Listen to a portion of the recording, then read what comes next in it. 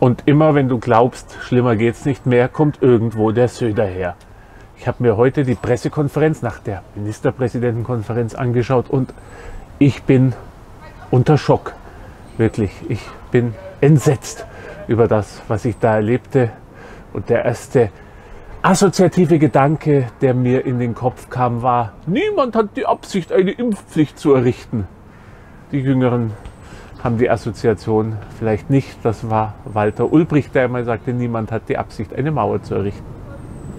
Wenige Wochen bzw. Monate bevor sie errichtet wurde. Nein, keine Gleichsetzung mit der DDR, aber wie hier gelogen wurde, wie hier getrickst wurde auf dieser Pressekonferenz, das schockiert mich.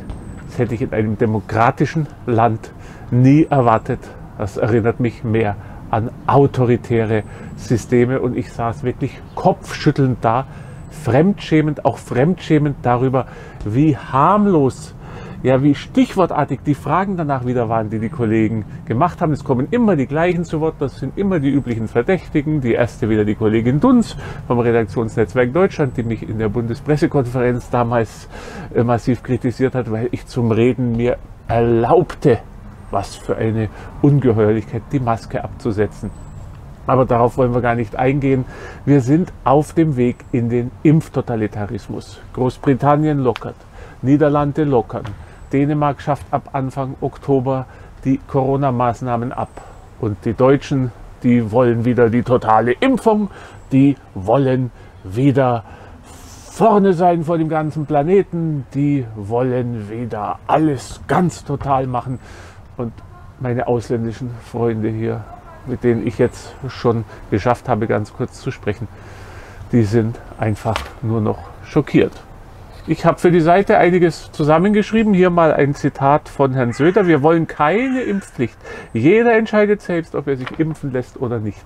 Das traut sich der Herr Söder zu sagen, nachdem er vorher und nachher minutenlang beschrieben hat, welchen Schikanen nicht geimpfte ausgesetzt werden sollen.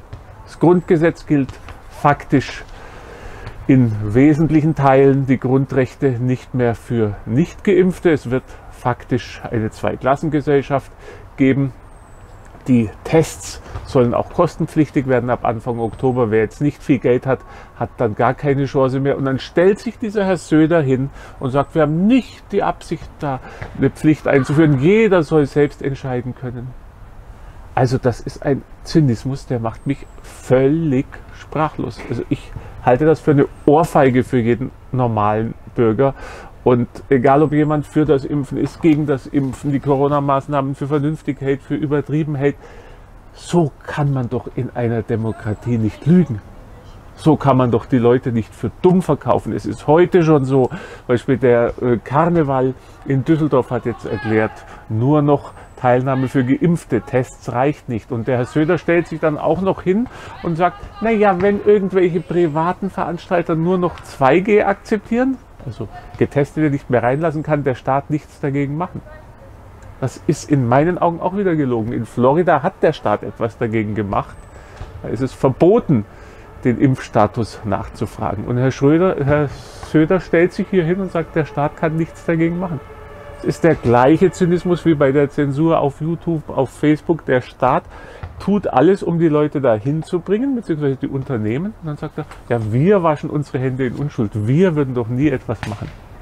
Wir haben autoritäre Maßnahmen, autoritäre Züge, die dann outgesourced werden, die dann auf die privaten Veranstalter abgewälzt werden. Und der Staat sagt immer, ja, wir machen doch nichts, wir können nur nichts tun. Ich habe das in Russland massiv erlebt und es tut mir so weh, dass das hier so viele nicht durchschauen denken immer noch, es kommt die neue DDR, es kommt die neue Sowjetunion. Nein, die kommen nicht wieder. Das geht sehr, sehr viel schlauer. Huxley hat das wunderbar vorhergesagt. Er sagte, die neue Diktatur wird so sein, dass die Leute es gar nicht merken, dass es eine Diktatur ist. Und was da heute alles gesagt wurde, ich zitiere nochmal den Herrn Schrö äh, Söder, hat er noch einen, äh, einen freudschen Versprecher hat er sich noch geleistet.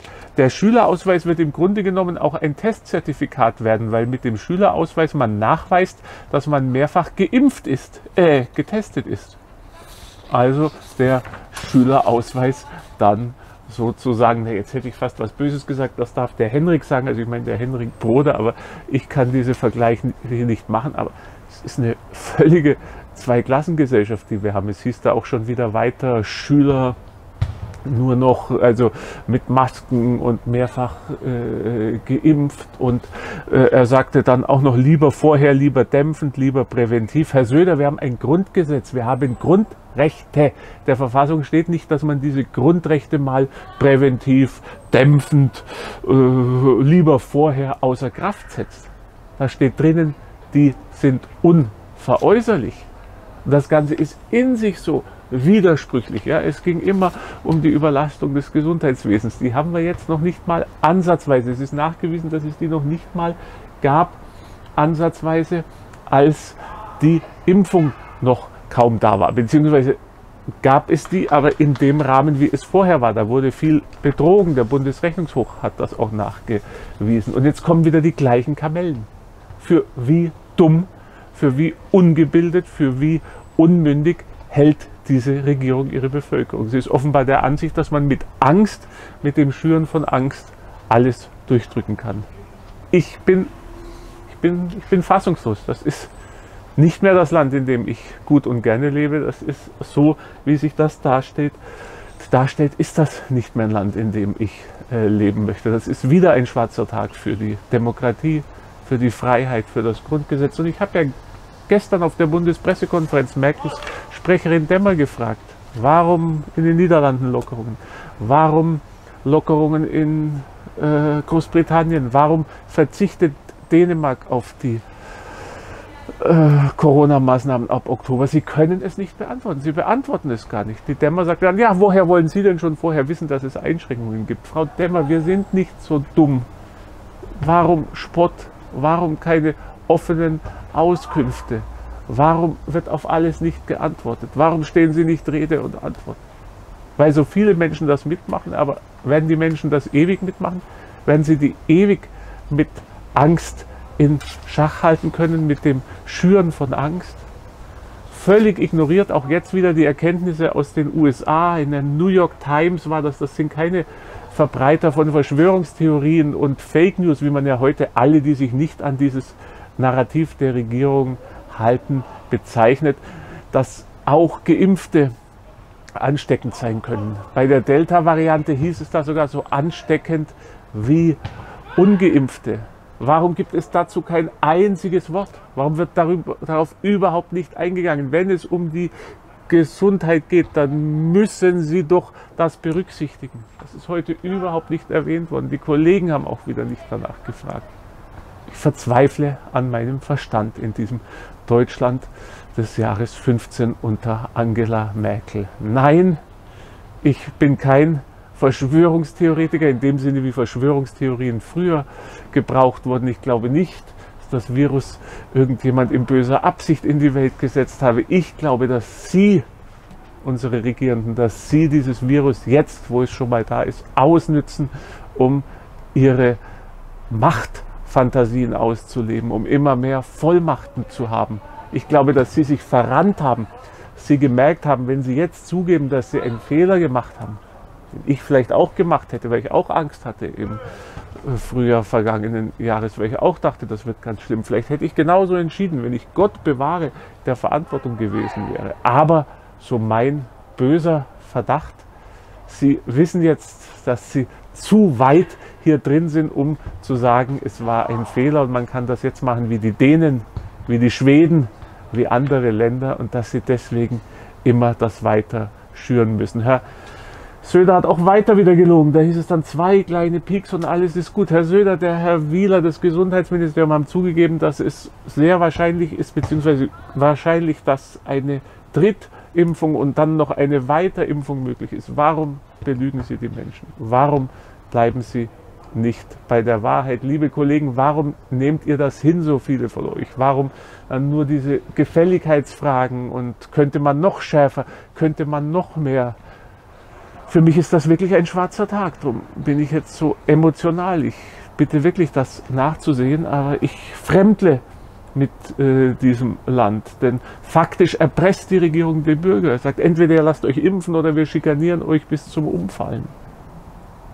Das ist nicht mehr die Demokratie, wie wir die alle gehört haben. Und gestern, ich habe es auf meiner Seite, lesen Sie das, ein US-Senator hat sich genau so geäußert, Republikaner, Arzt, Virologe.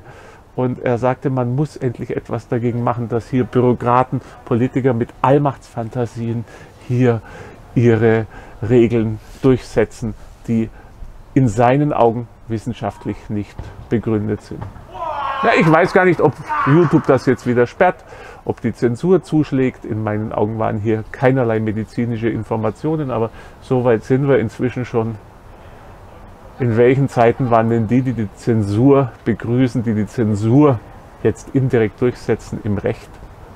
Entschuldigung, dass ich nichts Erfreulicheres zu sagen habe, aber ich musste jetzt einfach mein, meine Enttäuschung, meine Frustration über das, was wir hier erleben, teilen mit euch, mit Ihnen, weil ich weiß, es hilft auch, um nicht verrückt zu werden in diesen Zeiten. Jetzt kommt die Sonne durch, jetzt mache ich Schluss. Alles Gute, danke, ciao. Was habe ich vergessen? Ich glaube, da kann man gar nichts mehr vergessen. Da ist so viel, was man sagen müsste, dass man stundenlang noch reden müsste, weil man ansonsten immer was vergisst. Alles Gute, danke, ciao.